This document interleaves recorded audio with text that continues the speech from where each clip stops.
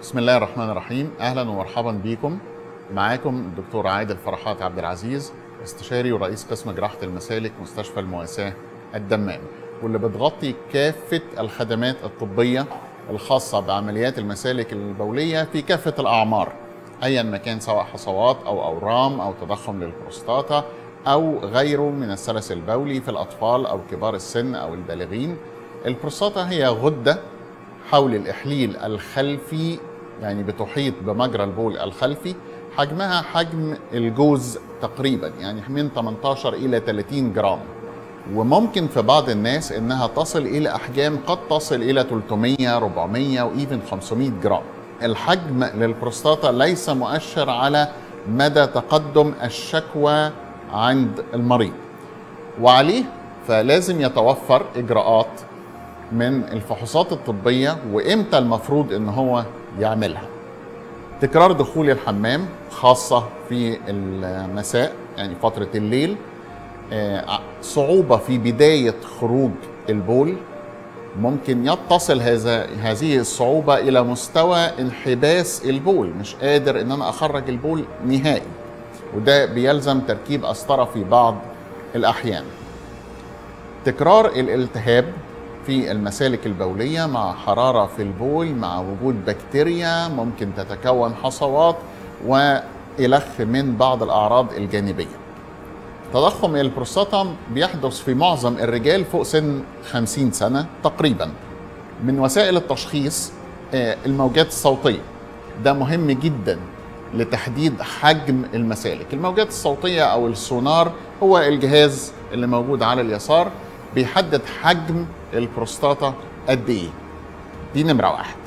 نمرة اتنين كمية البول قبل وبعد التبول لأنها بتحدد مدى سوء الحالة المرضية عند المريض ووسيلة من وسائل متابعة تحسن المريض بعد الإجراء التداخلي في الجراحة. الجراحة هنا مش مقصود بيها الشق الجراحي ممكن يبقى جراحة مناظير أو عن طريق الشق الجراحي. المنظار التشخيصي هو زي ما حضراتكم شايفينه بال flexible cystoscope أو المنظار المرن. بقدر إن أنا أتحرك وأوصل لكافة أجزاء المثانه بالكامل. وأقدر إن أنا أعرف شكل المثانه من الداخل شكل مجرى البول أحدد المكان بالظبط اللي أنا هحط فيه الدبوس في مجرى البول الخلفي. في الأحجام الصغيرة حتى 60 جرام بنستخدم حاجة أو technology جديد اسمه UroLift أو تدبيس الإحليل الخلفي لمجرى البول. طيب إيه ميزة ال UroLift أو تدبيس البروستاتا؟ أولا ممكن يتعمل تحت بنج موضعي. نمرة اتنين المريض بيخرج في نفس اليوم. نمرة ثلاثة تحسن مباشر في تدفق البول. نمرة أربعة في بعض الناس كبار السن ممكن ما يقدرش إن إحنا نعمل لهم تخدير نصفي أو تخدير كلي. يبقى اذا الحلقة أو ال UroLift اللي هو تدبيس آه، الجزء الخلفي لمجرى البول أو تدبيس البروستاتا يعتبر هو الحل الأمثل بالنسبة لهم.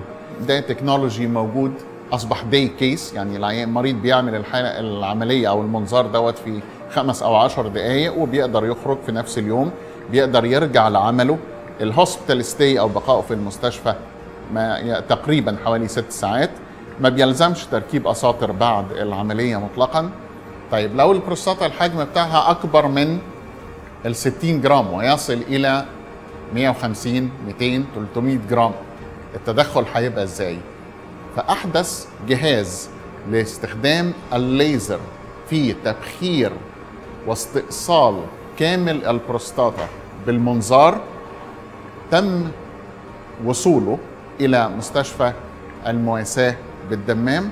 Thulium laser من اهم من أهم ال indications أو ال- الاستخدامات بتاعته إن المريض ما بينزفش. فأنت ما بيهمكش إن إذا كان المريض diabetic عنده السكر عنده التهاب في الشعيرات الدموية تقدر إنك أنت تشيل up to 100% من الحجم للبروستاتا في جلسة واحدة.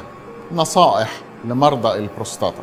نمرة واحد الحد من تناول المشروبات خاصة في المساء.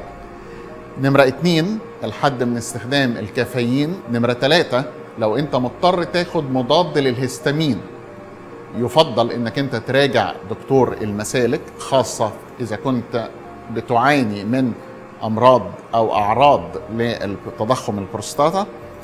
آه، نمرة أربعة مفيش داعي إنك أنت تمسك البول فترة طويلة once إنك أنت حاسس إنك عايز تروح الحمام روح الحمام. مرة تانية برحب بيكم وباستفساراتكم بقسم جراحة المسالك البولية مستشفى المواساة الدمام.